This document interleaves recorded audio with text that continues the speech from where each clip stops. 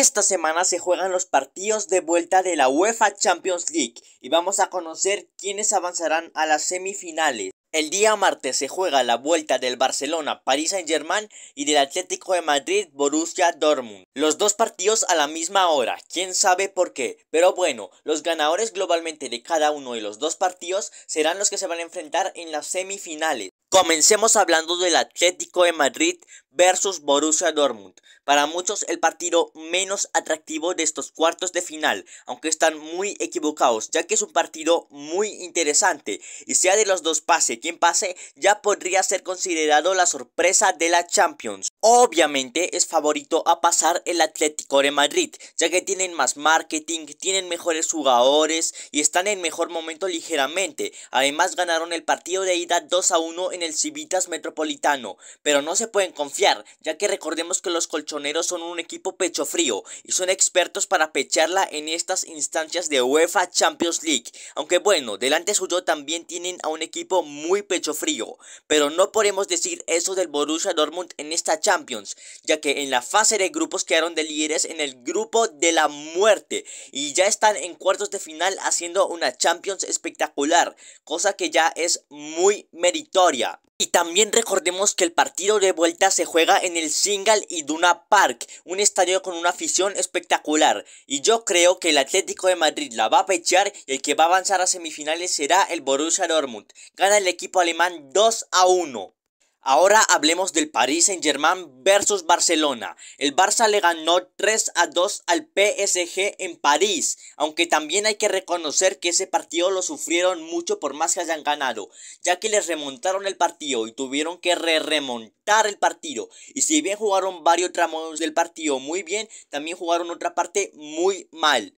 Aunque aún así el Barça tiene todo servido para pasar a la semifinal, ya que tiene la ventaja en el marcador global y se juega la vuelta en su estadio, en Barcelona. Aunque recordemos que el Barça también es un equipo muy pecho frío, porque en los últimos años ha recibido humillantes goleadas en la UEFA Champions League. Y también tengamos en cuenta que se van a enfrentar a Kylian Mbappé, uno de los mejores jugadores del mundo, por no decir que el mejor del mundo. Y sí, puede que no haya hecho nada en el partido de ida y que Cubarsí se lo haya comido, pero recordemos que Mbappé en un abrir y cerrar de ojos, por más que no esté haciendo nada, te puede aniquilar, así como hizo con Argentina en el Mundial. Yo creo que eso es lo que va a pasar, así que va a ganar el PSG 2 a 1 con algún gol de Mbappé. Pero eso en el primer tiempo, porque en el segundo tiempo el Barcelona le va a volver a remontar al Paris Saint Germain. Van a empatar 2 a 2 y van a pasar a semifinales en el marcador global. Eso pasará el martes porque el miércoles se van a jugar los otros dos partidos, el Manchester City versus Real Madrid y el Bayern Múnich versus el Arsenal.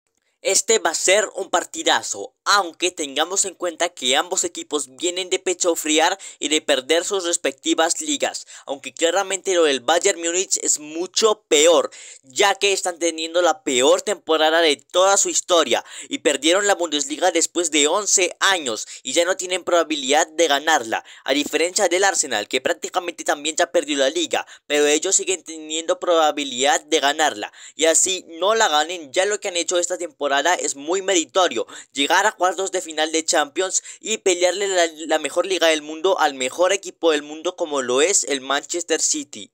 Y por todo eso, claramente el equipo londinense es favorito para avanzar a las semifinales. Aunque recordemos que al Arsenal le puede pesar mucho estas instancias, a diferencia del Bayern, que no le pesa para nada los cuartos de final, ya que por más que estén en un mal momento, siempre responden en la UEFA Champions League, como lo hicieron en el partido de ida, que le empataron 2 a 2 al Arsenal en su casa. Y yo creo que el Bayern va a hacer respetar su estadio y su historia, así que por eso ellos serán los que avanzarán a semifinales. Empatan 0 a 0 y avanza el Bayern Múnich por penales. Y por último, el mejor partido de estos cuartos de final de la Champions, Real Madrid versus Manchester City, fácilmente los dos mejores equipos del mundo. Ya nos regalaron un partidazo en el partido de ida, donde empataron 3 a 3 en el Santiago Bernabéu, y en ese partido y en sus enfrentamientos anteriores nos quedó claro que nunca puedes dar por muerto al Madrid, porque por más que vayan perdiendo en un abrir y cerrar de ojos te remontan el partido. Aunque así les hayas remontado al City, tampoco nunca los puedes dar por muerto porque son un equipazo y cuando te confías mucho ellos también te remontan. Aunque así le remonten al Madrid hasta que se acabe el partido, nunca puedes decir que ganaste ya que ellos siempre pelean hasta el final prácticamente hasta que se acabe el partido no podemos dar por muerto a ninguno de los dos equipos. Por eso va a ser un partidazo muy emocionante, aunque claramente en mi opinión es favorito el Manchester City, ya que vienen de ganar la Champions y van a jugar la vuelta en su estadio, en el Etihad, estadio donde el Real Madrid nunca en toda su historia ha ganado.